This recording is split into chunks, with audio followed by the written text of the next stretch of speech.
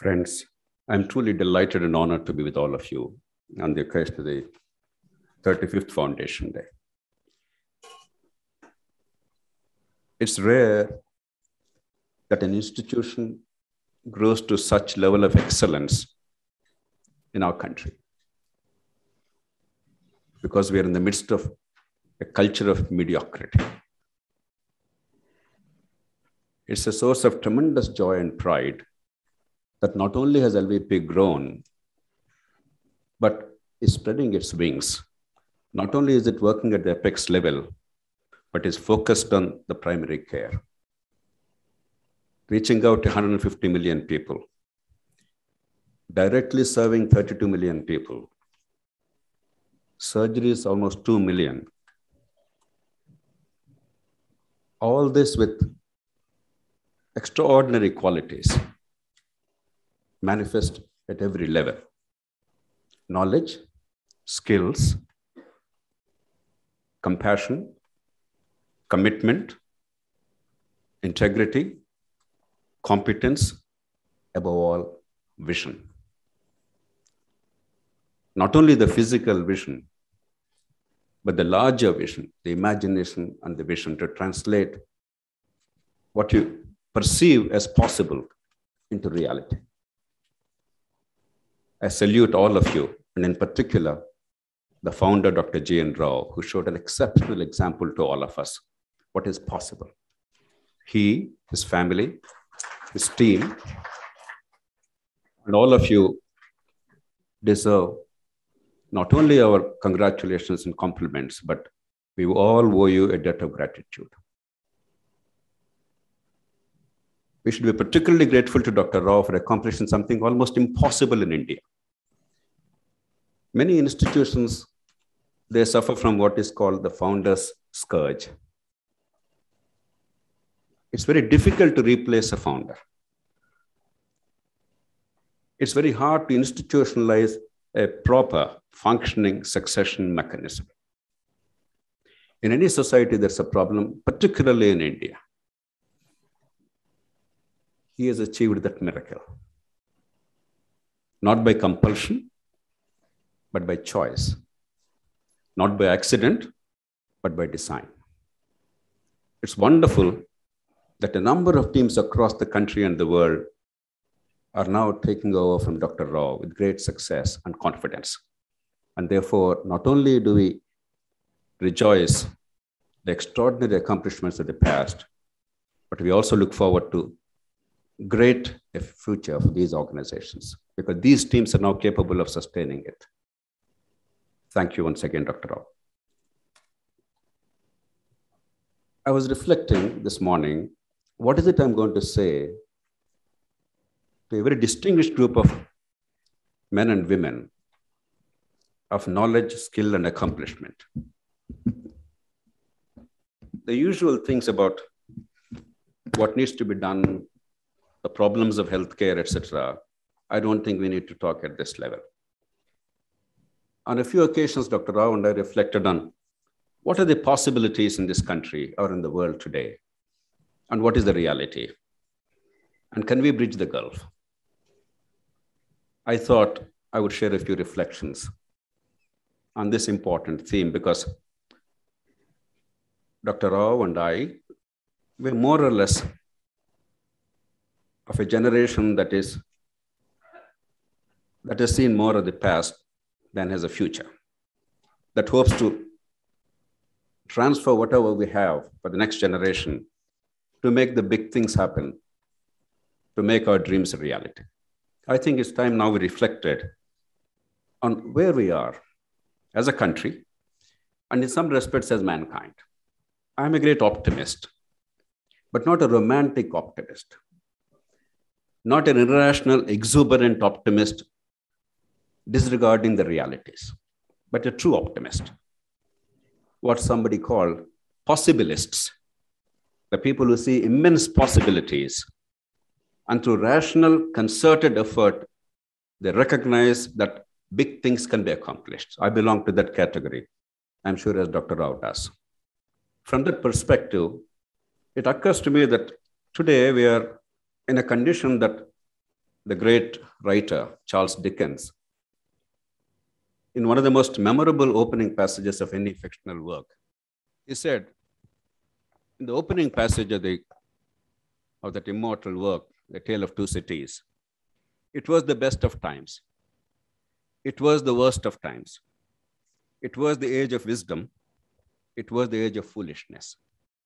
It was the epoch of belief. It was the epoch of incredulity. It was the season of light. It was the season of darkness. It was the spring of hope. It was the winter of despair. I suppose every generation has these dilemmas. But it occurs to me that today, we're at the cusp. Much of what Dickens wrote reflects our dilemmas today. There are immense possibilities. There are also increasing fears. That's the context in which I'm making these remarks. Hans Rosling, a very distinguished Swedish physician, he argued very ably, he passed away some years ago, that we often underestimate how much we accomplished in the past 50 or 60 years. In fact, he kept arguing that Sweden, when he was born in 1948, was where Egypt today is, or Egypt was about 10, 20 years ago because he made these comments about 10, 20 years ago. In one person's lifetime, in Egypt could become a Sweden. We view things still pictures captured by a camera. We forget that in reality, history is a motion picture. Unless you have a long term perspective, you don't really see what is happening, the dynamic changes if you view it from a broader historic perspective, we are right now oscillating between romantic optimism and despair and cynicism. But I truly believe, as Rosling said, we should be possibilists. Because the kind of things that we accomplished in the past 30 or 40 or 50 years for all humankind and for us even in a country like India are extraordinary. You are an embodiment of that. L.V. Prasad Institute is a symbol of excellence, an embodiment of the possibilities that are translated into reality. And these can be replicated on a wide scale across the country. Take, for instance, your pyramid. If you take a back of the envelope calculation for the vision centers, for the service centers, the tertiary care centers, and the centers of excellence across the country. My rough calculation indicates probably it costs about a billion dollars in rupees for the whole country, one-time capital investment. Probably an equal amount is going to be spent on actually running the services. Very rough calculations. Today, eye care the total expenditure in the country is of the order of about $2 billion, some, a little more or less. Now, for a country of India's size, to serve a population of 1.4 billion, to find a billion dollars is child's play. Either one-time capital investment or the expenditure required to provide reasonable quality eye care. Because the benefits are enormous if roughly about 2% of the people above 50 years of age are blind, if about 11 to 12% of the people above 50 years of age are significantly visually impaired, if the annual loss to the economy on account of vision defects alone is of the order of about a trillion rupees, 100,000 crores, it makes abundant economic sense and common sense that we should spend a billion dollars, about seven or 8,000 crores a year, to minimize this problem and to maximize not only the quality of human life, but our growth potential. It's a no-brainer. If you take healthcare across the country, the much larger system of which eye care is a very important subset. All we require to provide a reasonable quality healthcare in the country without burden on the people, without out-of-pocket expenditure for the poor in the country, our middle classes in the country. All it requires is roughly about a trillion rupees per year additional expenditure. We are spending now 1.1% of GDP on healthcare in the country from the public system. That's about 25% or so of the total expenditure in the country. If you just spend another 0.5%, a little under 0.5%, but wisely, in a sensible manner, with the available technology and resources, we can radically transform healthcare outcomes. Today, we're at about 37,000 or 38,000 lost years on account of disability and sickness in the country per 100,000 population. Let me repeat. Per 100,000 population, we are losing in terms of quality of life and productivity or lost life 38,000 years per year per 100,000 population. Some of it is unavoidable, old age and some disabilities that can't be really prevented or cured. If we do a decent job, we can bring it down to about 17 or 18,000 DALY years lost. That means about 20,000 years per 100,000 population can be saved by merely spending 0.5% of GDP per year, of which health eye care will probably cost about 7 or 8%. This is a ridiculously low cost. We are a remarkably lucky society. Very few societies in the world can claim that by spending just about 0.5% GDP, just about a trillion rupees extra, but in a sensible manner,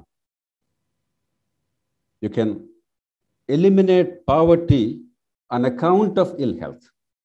Annually, 55 million people, five and a half crore people annually, they are descending into poverty on account of ill health, either because of healthcare costs or because of lost income because of morbidity. 55 million people. Now, 55 million people, if you see a country, that would be somewhere about 15th or 17th largest country in the world. That's the number of people who are descending into poverty in this country because we are not availing the existing technology and available resources in a prudent manner to enhance the quality of life. That's the gift of modernity. The reason why Rosling or somebody else would be extremely optimistic is this is eminently possible. All you require are knowledge, skills, competence, compassion, and vision. You don't require some extraordinary new technology. You don't require resources that are not available or affordable. You don't require human skills which are not existent. You just have to harness what is available in optimal manner. The optimism springs from, springs from the fact that it is possible, the anger, and on occasion frustration stems from the fact that despite it being so eminently reachable, sometimes we feel we somehow are determined not to avail these advantages. We want to wallow in cynicism and despair and self pity instead of acting on what is available. I am a great optimist simply because human societies have the capacity to learn from past mistakes, to look at the immense possibilities of the future, to relate them to their own quality of life and comfort, not because of some noble endeavor, but because they realize how advantageous they are, and eventually, even if sometimes there is some delay, eventually grab with both the hands these opportunities. Around the time LV Prasad Institute was founded in 1987, if you recall, to get a telephone in this country, and I don't know how hard Dr. Rao had tried to get his own personal telephone after moving from the US to India, or for the institution, it was a Herculean task. I remember I had to pay 8,000 rupees about a few years after that, after the founding of this institution in Hyderabad. Waited two, three years to get a telephone. And then, of course, all the travails of telephones we know. Today, we have a billion telephones in the country, as opposed to about 7 million telephones in 1987. 7 million to a thousand million in just one generation. At possibly the lowest cost, with a quality comparable to the best in the world. Not because of our greatness, but the march of technology. Science and technology perhaps the greatest driver of change, more than even political institutions or organizational ability. We live in that exciting age.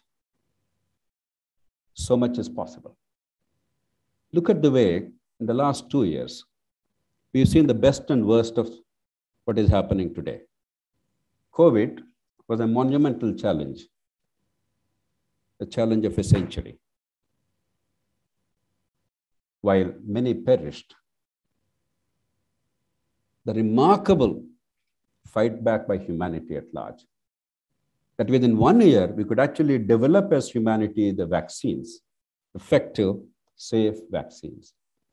We could manufacture on a mega scale. By now, probably more than 7 billion doses were distributed across the world, administered across the world.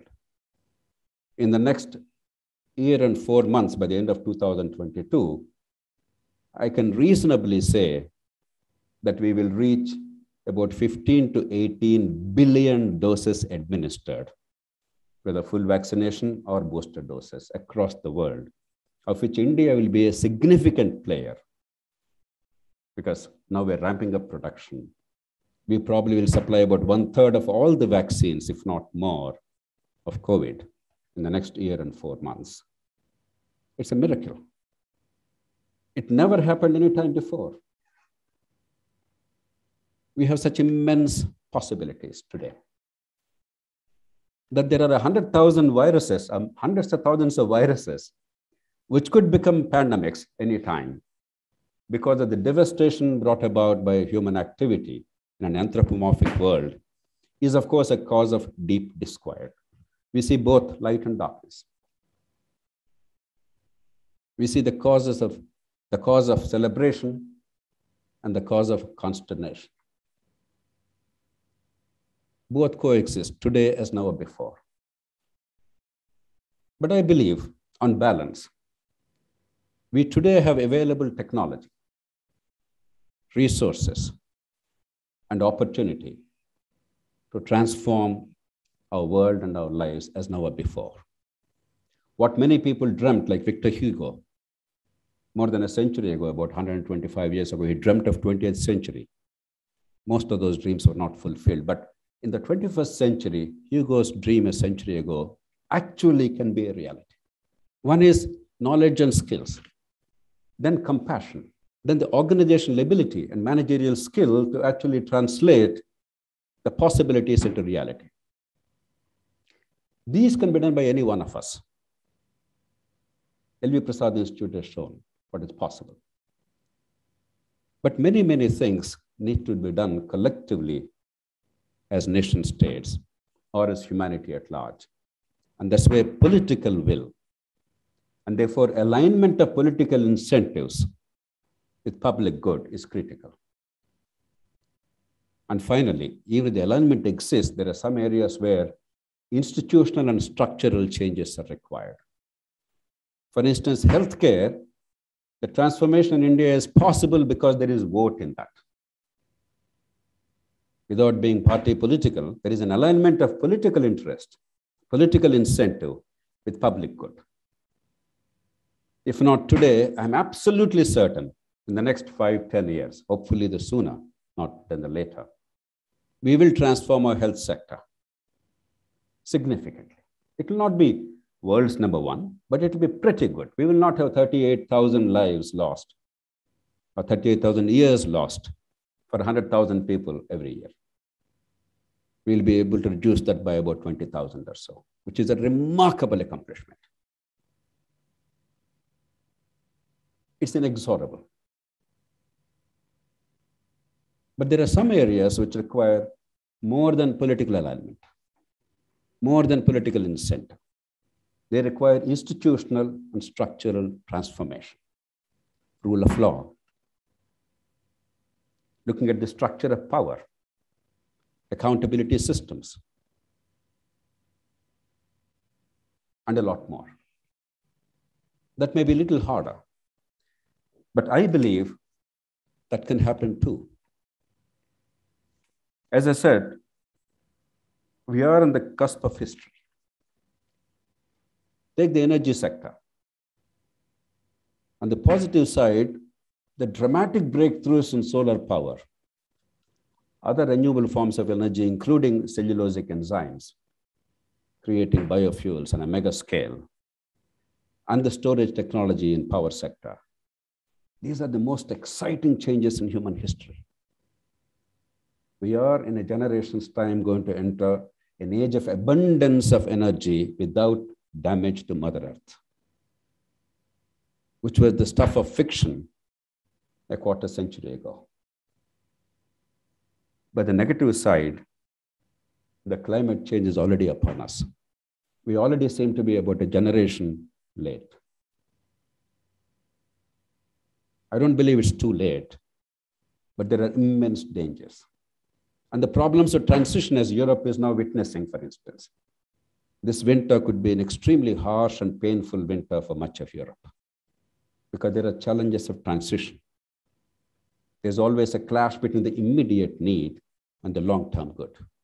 Again, take the economic transformation going on in the world. You see, an abundance of goods and services as never before. Human wants are being met better than ever before. Take India. If you take the food sector, your executive chairman, Dr. Prashant Garg, comes from an agricultural scientist family. He and I were discussing briefly. In 1950, we only produced 52 million tons of food grains. We were starving.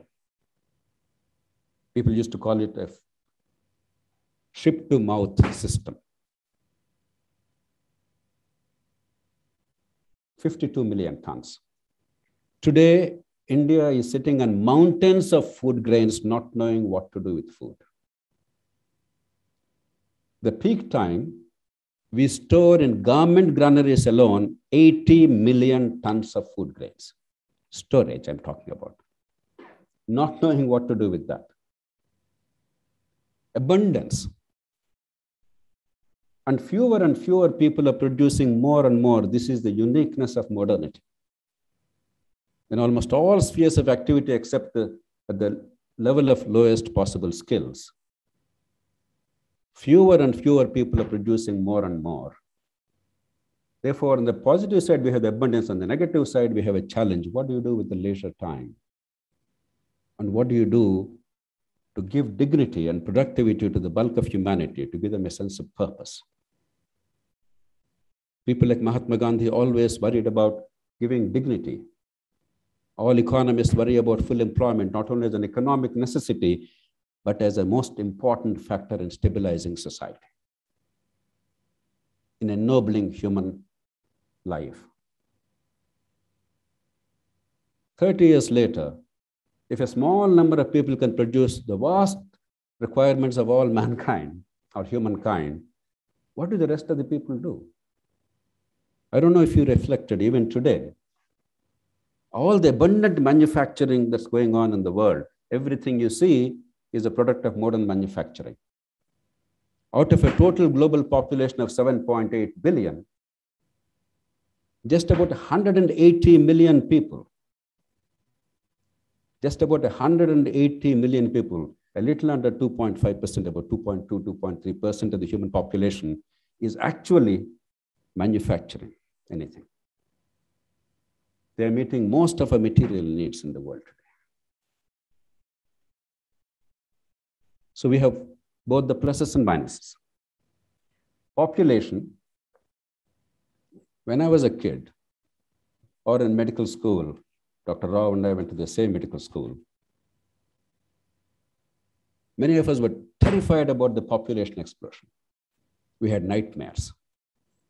I wrote an essay in those days arguing for compulsory sterilization as an impetuous, angry, passionate, but not particularly wise young man. I was so terribly worried. But today, all over the world, including in Africa, we see that the population is going to now stabilize. You take India, all the southern states, Telangana, Andhra Pradesh, Karnataka, Tamil Nadu, Kerala, or many other states, Maharashtra, Delhi, Punjab, Gujarat, Orissa, regarded as one of the poorest states, but has a remarkable job. And many, many other states have now reached a level well below population stabilization, a fertility rate of less than 2.1.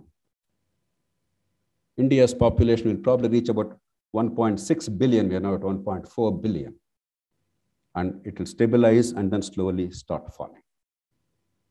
Global population will probably reach about 9.6 billion, stabilize, and slowly starts falling. So the population problem, as we understood about 25, 30, 50, 40 years ago, is a thing of the past. There's a dramatic change that is happening. And many of us still are obsessed with the problems of the past, ignoring both our potential and the crises of the future. But even as population seems to be stabilizing, national boundaries are becoming rigid. You don't know what to do with the nation state system. There are shortages of workers in many countries because of demographic transition. Take Japan, for instance. For 30 years, there's been economic stagnation. There simply are not enough people to work or enough consumers to buy goods. And there are far too many countries where there are too many people not knowing what to do. As a globe, the answer is very self evident.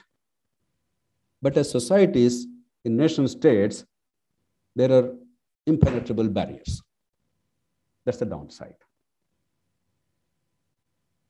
Globalization, most of us recognize, you know, even a casual glance at L.V. Prasad's history shows how much we all share and respect and learn from each other, benefit from each other.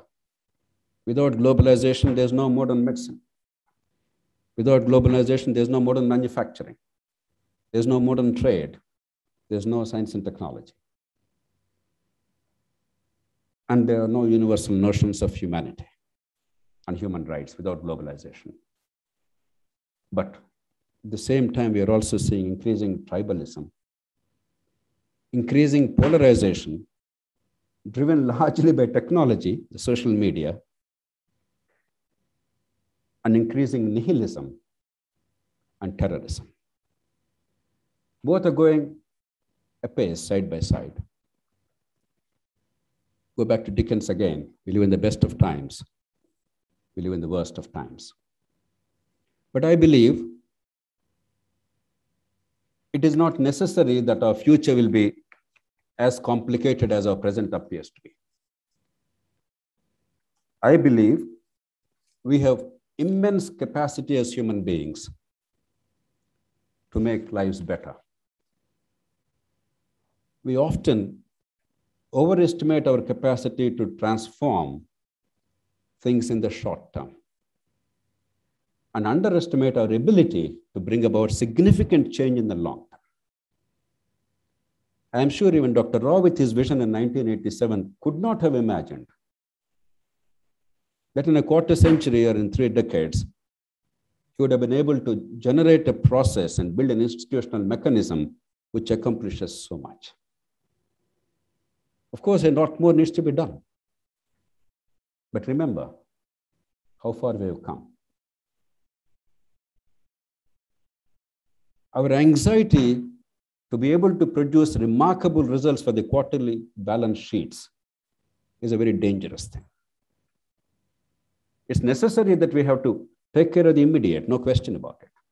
But it's far more important to look at the long term trajectory and set in motion processes and institutions to look at the future. Sometimes they're going to be hard knocks in the short term. Human history is full of those examples. Sometimes we don't embrace change easily. I was thinking of Einstein for some reason today. Much of Einstein's pioneering work was done in 1905, photoelectric effect and a whole lot of other things. A general theory of relativity that came also in the same year, a special theory of relativity. A general theory was developed over the next few years, 1907 to 1915, but by about 1910, 1911, it was already there. He got a Nobel in 1921. You know what? The Nobel Committee did not dare to say that they were awarding Nobel to Einstein for his greatest accomplishment, perhaps the greatest human accomplishment in all history, the general theory of relativity, because they were scared. My God, this is too outrageous. It's too far reaching. It's too radical. Therefore, they mentioned photoelectric effect. They said his general contributions to theoretical physics in particular photoelectric effect. Until 1919, on the 29th of May, when there was a full solar eclipse, when a group of scientists led by Sir Arthur Eddington, they went to South America and observed the actual bending of light rays as Einstein's theory predicted around the sun. Until that time, nobody seriously believed theory of relativity. In the frontier areas of theoretical physics and technology, it's inevitable that there's going to be a time of transition. But even in the more practical realm, sometimes there is a delay. Let me give you, before concluding the story of Ignaz Semmelweis from our own branch, our own field of human endeavor, the medical science. Semmelweis was born in 1919. He was born in Hungary. He grew up to be a physician in those days, in 19th century, mid 19th century. Went to Vienna, the capital of Austro-Hungarian Empire, the seat of not only empire, but also culture and modernity and science in Europe at the time, Vienna. In his practice, he discovered that about 15% of women, 15% of women were dying in childbirth. Imagine 15 out of 100 women, 15 to 20 women dying in childbirth, either during childbirth or after childbirth, with what we now, or in those days called, puerperal fever. They did not know why. Remember, by 1950, 1850s, mankind did not discover bacteria. We did not understand the causation of disease yet. Semmelweis also did not know why. But by a series of experiments through empirical evidence, he discovered that if only the physician attending the woman in labor washed the hands properly, what we now call sterilization and sanitation and so on and so forth, washed the hands properly, and after attending on one patient before going to the next one, again wash the hands properly. For some unknown, mysterious reason, this mortality was coming down to 1 or 2%, from 15% to 1 or 2%. When Pfizer's vaccine or Moderna vaccine is seen to be 90% plus effective, we said, what a miracle. It was 95% effective, just washing hands. The cause was not known because, as I said, they did not discover bacteria. The germ theory was not known yet. Semmelweis, please remember that was the height of enlightenment, actually quite by coincidence that was the period when Charles Dickens wrote his novel, 1850s, A Tale of Two Cities. An age of enlightenment. By 1840, the Industrial Revolution, as we understand in history, the first phase was over in Britain, 1760 to 1840. So we're not talking of an ordinary age. We're talking of a scientific age, an age of tremendous confidence, tremendous optimism, tremendous sense of science and technology, a sense of rational thought, reasoned discussion. So he pleaded with the fellow doctors, not European citizens, not ordinary people, the educated fellow physicians. He said, please wash your hands. This is the evidence. I don't know why. If only you wash your hands before attending an, a woman in labor, you will save so many lives. Not one doctor said, let me try. Not ordinary people, doctors. Not only did they ignore him, but they laughed him off. They humiliated him. They branded him as insane. He was institutionalized, put away in a mental asylum in Vienna. In those days, in a mental asylum, the treatment typically is brutal physical abuse. He was tortured in the asylum. Ultimately, he died in 1865 of the gangrene resulting from those injuries in the mental asylum. But here is the lovely part. A wonderful human being lost his life, but then no, that's part of history. But here is the lovely part. Within 20 years, three great men influenced by Semmelweis Robert Koch, all medical doctors, physicians know Koch's contribution to medical science, whether Koch's postulates or tubercle bacilli. Louis Pasteur, the author of the germ theory, and one of the first vaccines developed. Even today, Pasteur Institute and the organizations he started a very important globally, even today. And Joseph Lister, the man who became famous for sanitation and sterilization and asepsis. They were all contemporaries, influenced by Semmelweis' work. Within 20 years, they radically transformed medical science and human life. Human society has immense capacity to absorb what is right, what is useful, even if sometimes in the short term we falter even if sometimes in the short term we make tragedies happen. Even if some people pay the price, the ultimate price with their lives, like Semmelweis. But in the medium and long term, we have the capacity to realize how much it makes a difference. The early resistance, the inertia that Dr. Garg talked about, is broken. People embrace something new. Sometimes with great alacrity, a little more excessively than it should be like social media today. But on balance, we have the capacity. I think great visionaries and leaders like Dr. G.N. Rao, they show us how much is possible. They give us hope. They give us confidence. And a leader is only as good as his team. No matter how great a leader you are, without a team of followers who are embracing the ideas, participating in the process of change, and delivering high quality services to transform human life. An individual, however great that person is, from Jesus Christ to Lord Gautama Buddha to Mahatma Gandhi to any number of prophets, no matter how great a leader is, at the end of the day, it is the followers, it is the teams, it is their dedication, their sustenance, their constant improvement, their innovation, their commitment, their compassion. You in the L V Prasad institutions group, all of your teams over the past 35 years have shown that exemplary courage and leadership. And you followed a path, a trailblazing path. You showed us what is possible. A lot more is necessary a lot more is possible. I hope that for our country, And at a larger level, I hope for all mankind, because now increasingly in the 21st century, to think of ourselves only as a country and nothing more than that is not particularly useful.